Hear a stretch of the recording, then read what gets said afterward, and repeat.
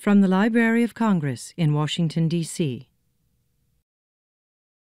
Our next guests are co authors of This Is Just a Test Madelyn Rosenberg and Wendy Wan-Long Shang.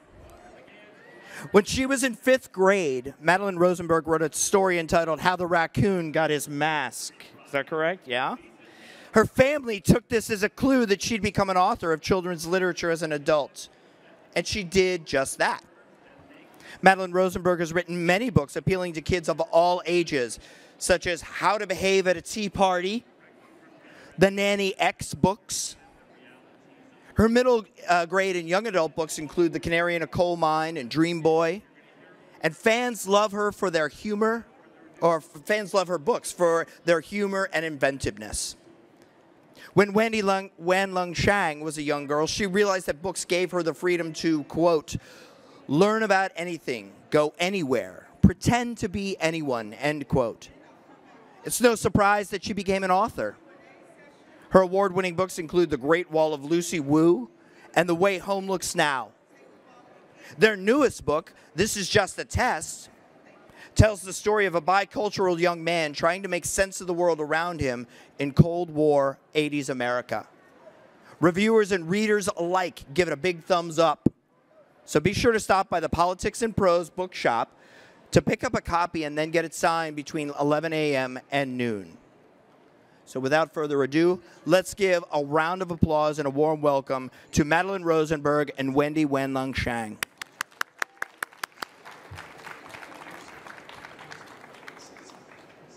Good morning, everyone. I'm Wendy Shang. I'm Madelyn Rosenberg. And as he just said, we are the authors of This Is Just a Test. So, how many of you have ever seen two people get into a fight and wonder should you speak up, or maybe if you just kept quiet, everything would blow over? That's pretty much what's going on with our main character, David Dawei Horowitz, who is half Chinese and half Jewish. And no one in David's world is getting along his grandmothers don't get along, and his friends aren't getting along. It's the 80s, so really it feels like the world isn't getting along. But when David starts entertaining the idea that he could leave a friend out of an important project, he learns that there are no shortcuts to peace. And we're going to start by, I'm just going to read a little bit from the beginning. Even though we work together, we are different heights, so I need a smaller. so our book starts out where David's class is on a school field trip at a farm in Virginia where almost everything on the farm is dead, including the poison ivy. The teachers told a group of us to sit at the picnic tables so they could pass around seeds and dry gourds, which Mr. McKimmon actually did grow. Hector, my best friend, squirmed between the bench and the table and ducked underneath. What are you doing? I asked. The other kids were giving Hector a look. It's shadier down here, Hector said. One thing I'll say about Hector, he is not afraid to be unconventional. It used to be a quality I admired, like when Hector suggested that we do everything backwards for a week, or when he signed us up for correspondence classes in French because he wanted to go to the Cannes Film Festival one day. But in junior high, unconventionality was usually just another word for dork. Knock it off, I told Hector. I was pretty sure under the transitive property of junior high school social lives, whatever our group was thinking of Hector, they were going to start thinking of me. Hector popped back up. My little brother does that all the time, said Kellyanne Majors. I happen to know that Kellyanne's little brother was eight. It was one of the facts I had collected about her. It was also exactly what I was afraid someone would think. Watch this, said Scott Dursky, who was in a couple of my classes. Under normal circumstances, I ignored Scott and his stunts, but now he was providing a distraction, the good kind. I watched him, hoping everyone else would too, as he walked to the oak tree that had a bunch of vines attacking the trunk. They looked like tentacles. Scott grabbed one to try to get some climbing leverage, but the vine was loose and it fell out of the tree while he was holding it. Terry Sepfin stood behind him and said, Nice try. Let me show you how it's done. Scott grabbed a different vine for a better hold. It was furry. Even from where we were sitting, I could tell it was poison ivy. That's poison ivy, I told Hector. They shouldn't be touching that. Hey, Hector shouted. That's poison ivy. Says who? Scott didn't let go of the vine, but you could see his grip relax slightly. Says David, said Hector. We walked over to the tree. I don't see any leaves, said Hector. You can get poison ivy from the vine too, I told him. You know, hairy vine, no friend of mine. It still contains urushiol. I've never heard that, Scott said, but he let go of the vine. He's making it up, said Terry. He patted the vine, which looked like the tail of a scruffy cat. This is my pet Lucky. He would never hurt me. Don't you want to meet my pet? He reached for the closest girl, who shrieked and ran away. Why would I make it up? I said. If I were going to make something up, it would be something like studying too much for your bar mitzvah can stunt your growth, or eating only Chinese food causes premature baldness. Personally, I would like to spend a lot less time studying Torah and more time eating pizza. And that's sort of how we begin our story about David. So it's a little strange for us, in, in anything basically in the kidlit world that's older than 10 years, it's set more than 10 years in the past, is considered historical fiction. So the, but even knowing that, it's a little devastating to realize that something set in the 80s is considered historical fiction. But when you think about it, when we start thinking about it, like we realize that there are things from the 80s that we mention in the book that would be completely foreign to young readers today. So, and we wanted to remind you, people, when, when you start, well, you know, if you're tempted to start laughing at some of these things, that one day that, that maybe 2017 will seem kind of, kind of historical. That's right. If you guys are walking around and you've seen people with clothes where the shoulders are exposed, I think it's called the cold shoulder, right? That's going to be 2017. And there are 2000 there are different voices, different vocabulary that people are going to be using uh, in the future so that the things we say now are going to be strange. And foods are one of the things that um, I think is was different when we were growing up. And I don't have Diet Coke in this picture, but I should because you know you see Diet Coke everywhere, right? That wasn't invented until 1982. Oh, wait, hold on. One microphone. Another thing that was different were video games. Who here likes to play video games? Oh yeah. So what do you use your thumbs, right? Right? You have a screen and like you can see lots of cool stuff. Well, video games looked a little different and we played them a little differently when we were growing up. So this is a picture from a game called Do you know do you know the name? Space Invaders, good job. And instead of getting to use your thumbs and these virtual buttons and everything, we got to use this. Look at this. Look at the range of motion on this thing. yeah, you have those? so we thought we'd demonstrate for you what it was like to play with this. So Madelyn is going to be my avatar. Okay, and remember, and we could only see them from the side. So it'd be like, go, go, go, go, and then maybe jump, jump. So you guys have it much better than we did. Um, also, computers were something that looked a little bit different. They were, not many of us even had them. They certainly weren't something that you carried around like a purse or in your purse. Right. And in fact, how many of you use a thumb drive at school or at work? Right? So this is this is actually the more updated version of what we had to work with. Okay? This holds two megabytes. So if you wanted to have enough storage to have the same amount in your 16 gigabyte, do you know how many you would need? I can't get it. What? Well, they were called floppies, but they were, they were the, the first ones were really skinny, and you could wave them back, and they would kind of wiggle. These were like the more updated versions. But if you wanted to have the same number, the same amount of memory in a 16 gigabyte thumb drive, one of, oh, in a 16 gigabyte thumb drive as you could in one of these, you would need over 11,000 of these. and then speaking about carrying things around in a purse, you guys want to guess what's in here? What's in there? What do you think? What'd you say?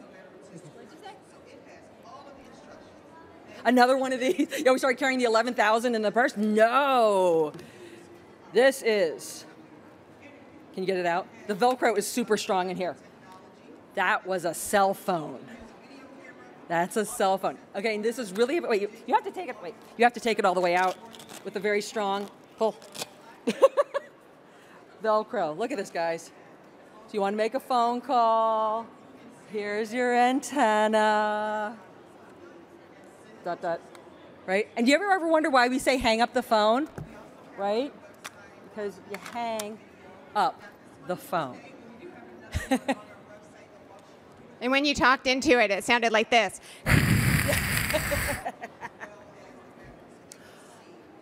Okay, and then uh, speaking of other expressions, we had expressions from the 80s, like if you thought something was totally gross, you might say, gag me with a spoon. Or, That did not get as far as Southwest Virginia. so what are some of the, what do you think, what are the, some of the phrases that you guys have now that might seem like unusual? What do you think? What's that? Oh, I'm sorry. Or like LOL? You I say LOL?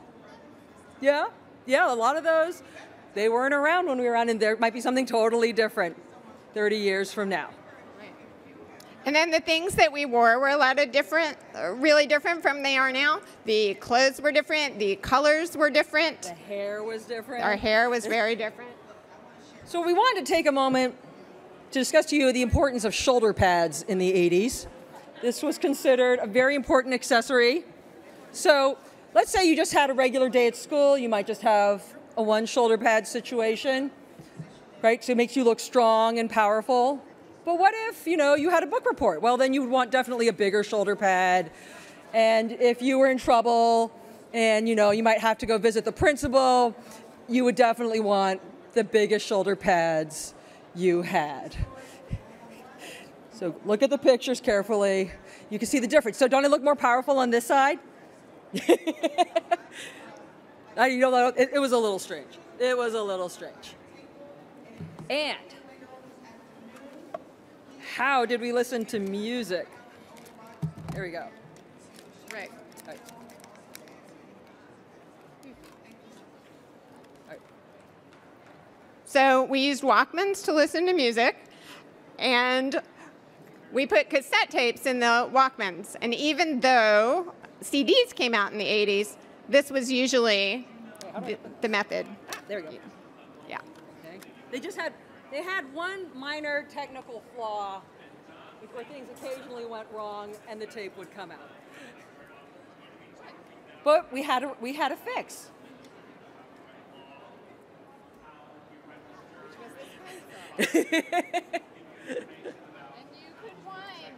You could wind. All right, we need a volunteer because we know we might need this tape again. Okay.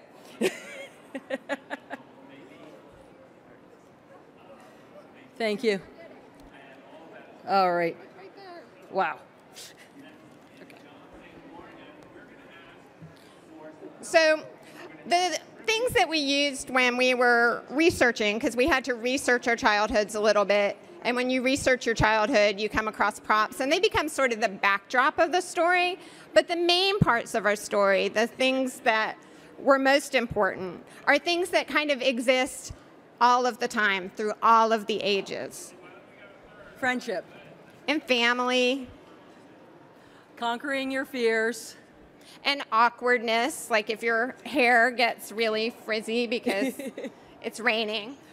We're fairly convinced that awkwardness is a common theme throughout the ages, that, you know, not every 10 year old in ancient Rome had his toga securely fastened, leading to awkward moments. But we wanted to share an awkward moment from our book. So at this point, have you ever accidentally like hit somebody? You know, like you're kind of like waving stuff around and you accidentally bonk somebody and you're like, oh, I'm sorry.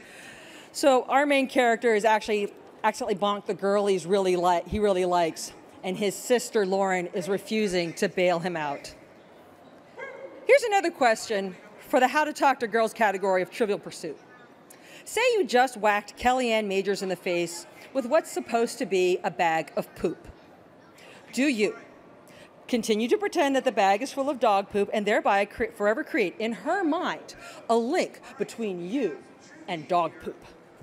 Or cop to only pretending to pick up dog poop and thereby forever create in her mind a link between you and fake dog poop? I ended up doing something else altogether, which was to trip over Bao Bao's leash and fall to the ground while saying something suave like "Gah." Lauren and Kellyanne leaned over me.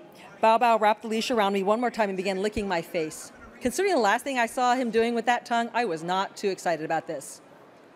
Are you okay, David? asked Kellyanne. I didn't mean to freak you out. She adjusted her hat. It was green, which made her dark eyes more noticeable.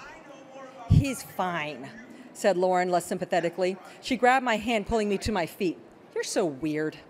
The button girl, Kellyanne said. That's Lauren, I said.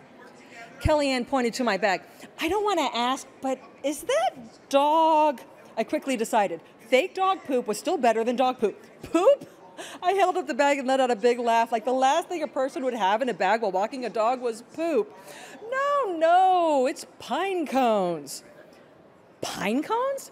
Kellyanne shook her head. What are you carrying pine cones in a bag for? Why, indeed? I looked at Lauren, who gave me the you're on your own look. Why am I carrying pine cones in a plastic bag? I said, stalling for time. Yes. From the tone of her voice, Kellyanne was no longer worried about my physical well being. It was my mental state that was now in question. I looked at the Mason's house, which was across the street from Grandma's house, and they'd already started decorating for Christmas, which is something people do around here on Thanksgiving Day. Don't ask me why. For a wreath, I said. A pine cone wreath. A wreath? Yes. Because we're Jewish said Lauren not so helpfully. I gave her the evil eye behind Kellyanne's back.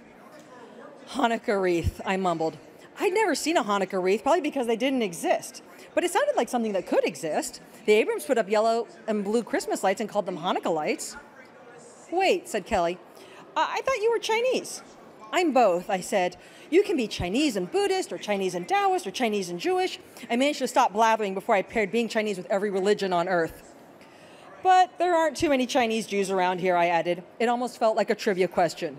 How many Chinese Jews live in Virginia? Answer, ha ha ha, what are you talking about? So, when we were both growing up, we grew up in different parts of the state. And I was the only Jewish kid in Southwest Virginia. I mean, there were a couple of others. There was Ezra Perlmutter, but it mostly felt like me and Ezra Perlmutter.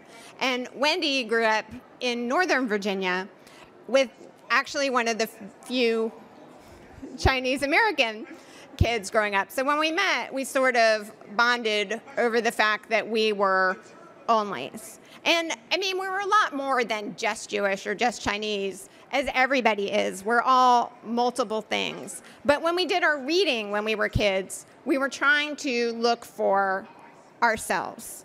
And, you know, I did find myself in A Wrinkle in Time. I saw myself in Meg, or in reading Harriet the Spy. I saw myself in Harriet. Wendy did too. Yes. All right, All right. awesome. Cool.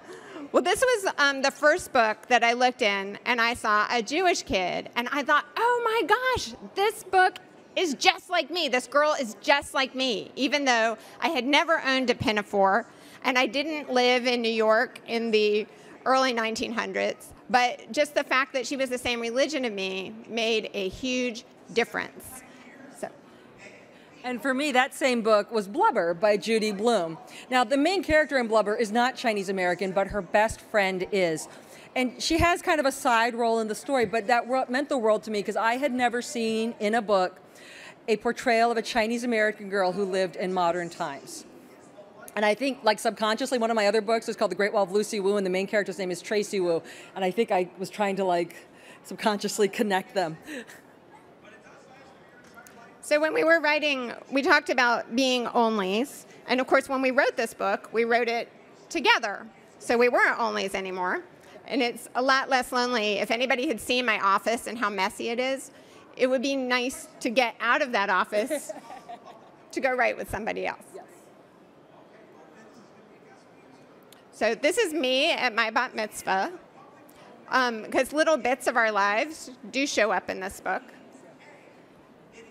And this is me when I was in high school in the 80s, and I got the, oh, oh my gosh, I'm so sorry. Um, um, I was drawing. I was trying to do what they called the preppy style. So I had my sweater over my shoulders, and what I drew from that for David was David likes to do trivia contests, and I did forensics contests. And I think the connection is, you know, we like to try new things and then get better at them, and that's what David's trying to do. So the day after was a television show. It was a movie made for TV that aired in the 80s. And it was super scary. It was about what life would be like if a nuclear bomb went off. And for us, another thing that was different about the 80s is there was no Netflix and chill. We did not have that many TV channels. So everybody watched this show. And it got us really scared. Yeah. And so that fear, and what we found is that every decade of people, they're afraid of something else and something different.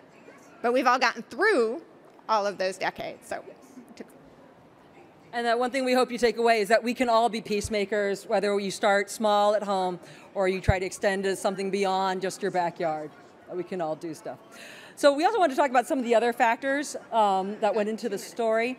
Um, so we had food. We talked about. We have dumplings and latkes. We talked about going to different language schools. I went to Chinese school. Madelyn's kids go to Hebrew school. And we talked about like how we all both had this connection to Virginia. So all those things kind of play into the story. And then there's the good old Trivial Pursuit. and also friendship, because the fact that I think we were friends made a really big difference in our ability to be able to write and to write together. Do you want to talk about that any? And then we'll do questions. Well, I think we have like we have like one minute. So if any does anybody have any questions? Any ideas? Yeah.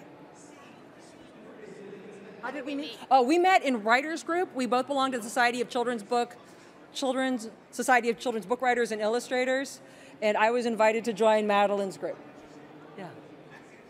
Did. And because we were the same age and we had kids the same age, we kind of bonded over that and got to know each other better. And when we were writing this book, we got to know each other better, better. Oh, we have a question over here. Yeah.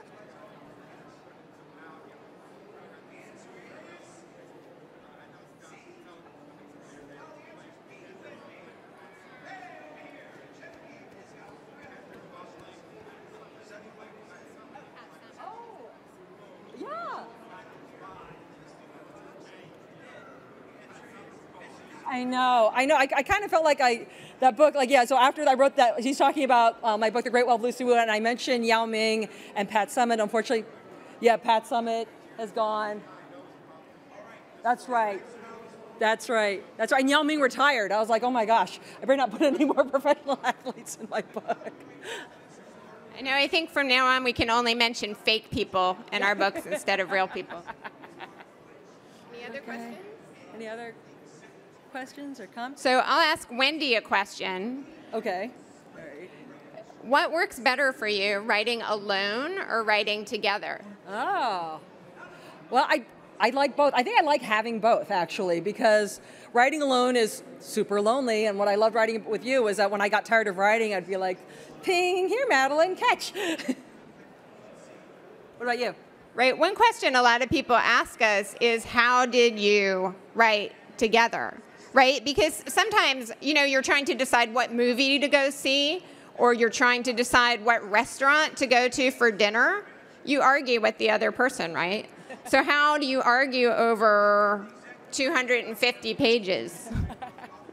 but it actually worked really well for us. Um, basically, we took turns. You got to talk really, really loud because we can't hear you. You got to come all the way up here and talk to us. We can't hear. Oh, our favorite children's books. Oh, You're on good for- oh wow. You know, one of my uh, one of the books I come back to is um, a series called The Great Brain, and it's about a boy growing up in Utah in the 19th century, and their lives were so different from ours. And he had a horse, and I love horses, so I was super jealous. Uh, and mine was The Phantom Tollbooth because it was really one of the first books that taught me how fun it could be to play with words. And I'm reading the sign that says wrap it up. So thank you. We're going to wrap it up. Thank you guys so, so much for listening. Thank you.